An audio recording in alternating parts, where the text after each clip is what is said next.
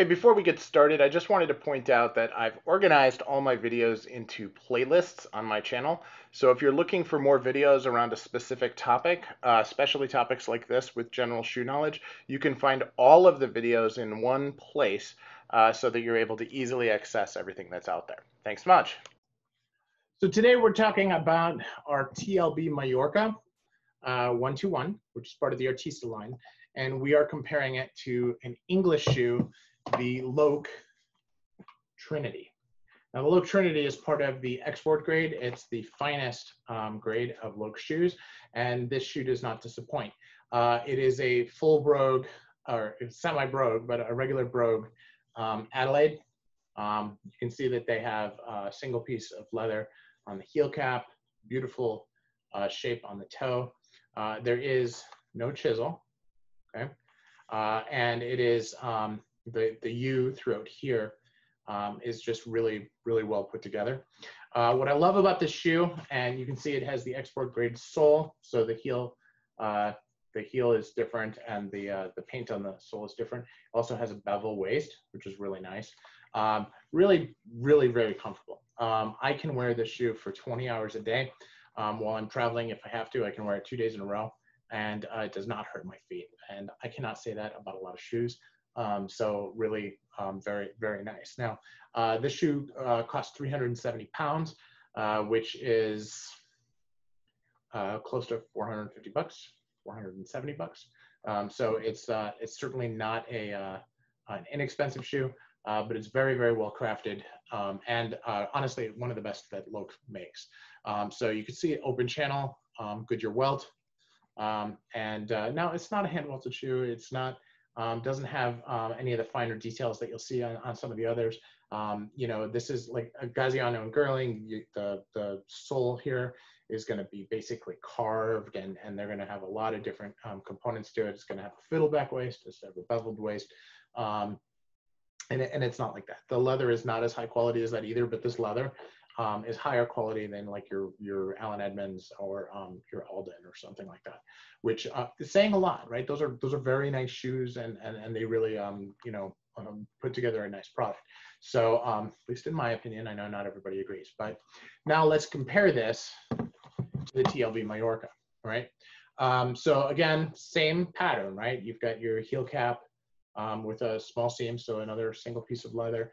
Um, you've got a beautiful U throat. The U throat is a little bit wider on this, but but very nice, um, very nice taper on it. Um, beautiful uh, toe cap. Uh, this has these beautiful rises here. It has more of a, chi a ch rounded chisel last. Okay, so it's there, and it has this gorgeous narrow waist, which really hugs your foot while you're wearing it, providing arch support um, and just a, a, a nice feel um, as you're wearing it. So uh, I cannot say enough uh, nice things about this shoe. Um, now for, for $400, um, and I got it on a special sale, so the $400 included a belt. Uh, this is a tremendous value. Um, definitely uh, the same feel as you know one of the $700 shoes. Um, very, very, very well made.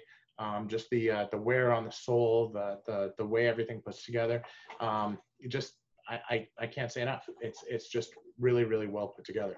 So what we're going to do is we're going to talk about a few measurements, right? Because I think it's important to kind of look at things objectively.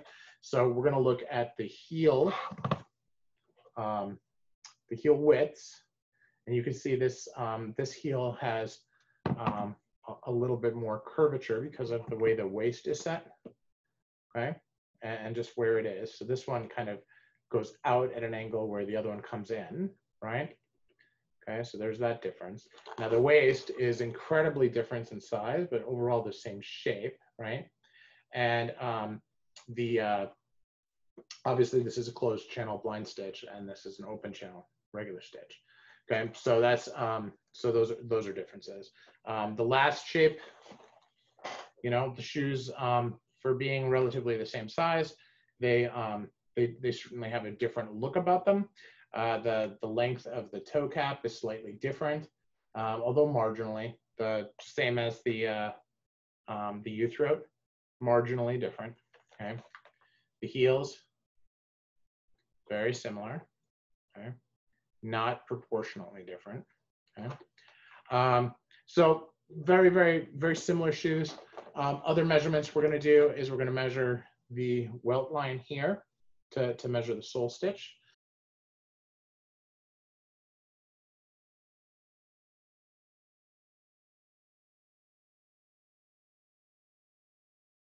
And then we'll measure the upper stitch here.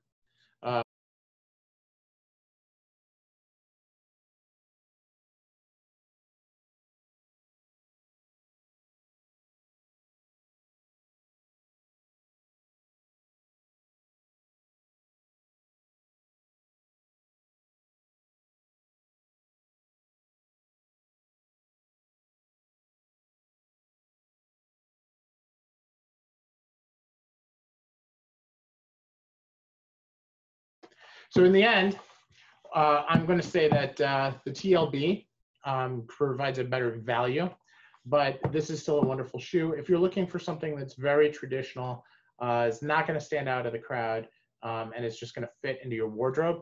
This is a great shoe. Um, I, I, do strongly recommend the uh, the Loake uh, export grade line. Uh, couldn't be happier with these. But um, if you're looking for a higher end shoe, uh, something that uh, is going to really mimic, you know, in the $600 plus range uh, of the machine welted, not the not the hand welted. Uh, I'm going to say that this is this is a better bet, better value, um, and uh, the TLB just puts out a really really nice shoe. Now keep in mind this uh, brand has only been around for a couple years, so these prices are probably introductory, and they probably have a plan on on moving them up a little bit over time uh, whereas Loake has been around for a long time and is, uh, is very well established in the market. So this is Wisconsin Shoe Guy. Thank you for watching. I appreciate uh, your time and uh, thanks for watching this short video.